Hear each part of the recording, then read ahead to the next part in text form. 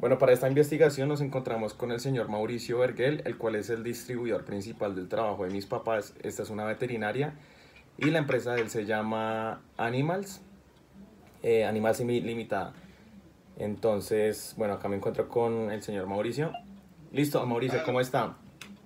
Bien, gracias. Perfecto, entonces para comenzar, mencióneme esos cinco problemas principales que encuentra en la empresa, eh, mencionados como en la cadena de suministros o en el proceso logístico de entregas y, distribución de los pedidos? Bueno, a veces el problema radica en el desabastecimiento no de por sí de nosotros, sino de los laboratorios. Que hay productos que exigen cierta demanda a nivel del mercado, pero no alcanzan a suministrarlos o los lotes que mandan para Colombia en productos nacionales e internacionales a veces los lotes que llegan acá no son suficientes para cubrir la demanda. Entonces hay una sobredemanda en el producto y escasea hasta dos, tres meses, hasta puede escasear un año. Claro, y respecto a eso, ¿de qué manera ustedes encuentran como empresa una solución? Pues empezamos a buscar eh, opciones con otros laboratorios de, de producción nacional a ver si se puede suplir eh, con eficacia los mismos productos. Ya. ¿Cuál sería el segundo problema, don Mauricio? El, segundo problema, los temas de comunicación.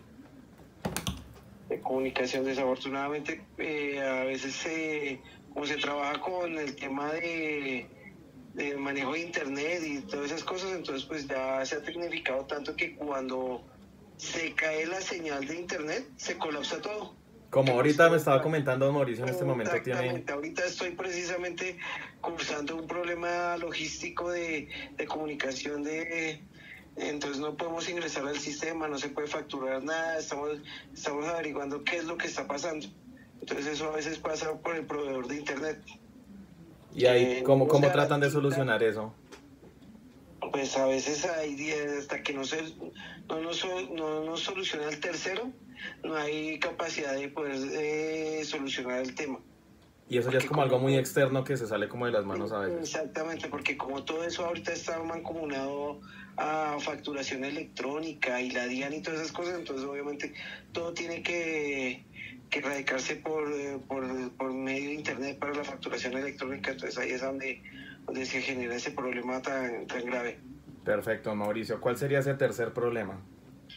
Tercer problema que nosotros tenemos así como en una empresa, aparte de lo de, de a veces da el despacho de suministros.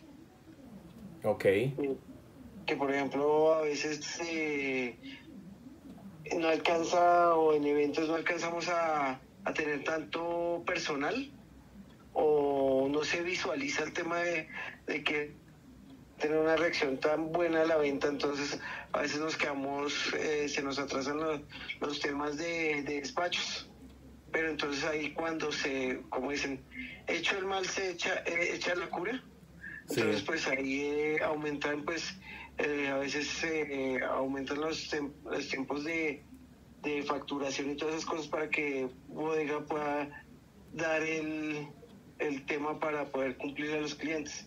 Que pues nosotros eh, como empresa siempre procuramos tener a más tardar en 24 horas el, el pedido. Y pues se ha mejorado ese tema para cumplirle a los clientes. Listo, Mauricio, perfecto. ¿Cuál sería ese cuarto, cuarto, sí? Cuarto, vamos a ir al cuarto. ¿Quinto? ¿Cuál sería ese quinto problema, Mauricio?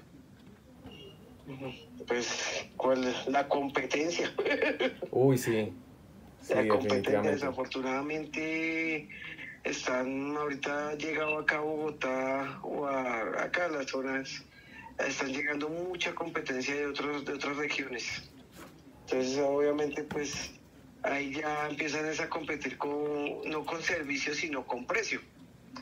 y también eso va de la mano como de la escasez de, de los suministros y los productos. Exactamente, entonces a veces eh, si usted tiene el producto o ellos no lo tienen, pues le piden a uno, pero, pero a veces eh, ellos se demoran un poco más, entonces pues ahí es donde también se genera la, la infidelidad que yo digo. Claro. Entre esos distribuidores. Sí, listo, Mauricio. Eh, eso también va de la mano como que todos empiezan a bajar el precio y cada vez va más, abajo, más abajo.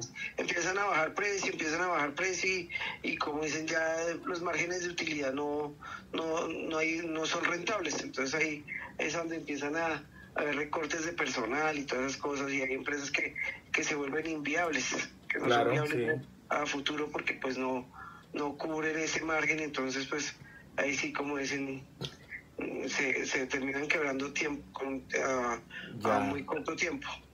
¿Y de qué manera ustedes enfrentan ese problema? Pues nosotros a veces lanzamos promociones, descuentos, pero pues normalmente la empresa eso sí siempre intenta proteger el margen porque pues obviamente es de ahí donde saca para los empleados. Entonces ahí ellos Claro. prefieren no, no regalar eh, la mercancía para no, no generar ese problema o no entrar en ese juego. Sí, claro. Ahí afectaría bastante a la empresa. Sí, claro, entonces por eso no prefieren no, no entrar en ese juego porque afecta totalmente la rentabilidad y empieza pues hacia futuro, no, no inmediatamente, sino a futuro es cuando se den, se den los problemas. Listo. Listo, don Mauricio, eso sería todo. Le agradezco mucho por su, por su atención y por, por sus respuestas